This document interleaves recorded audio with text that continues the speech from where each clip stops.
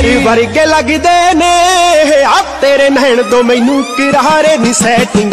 ਬਾਲੀ ਹੋ ਗਈ ਸੀ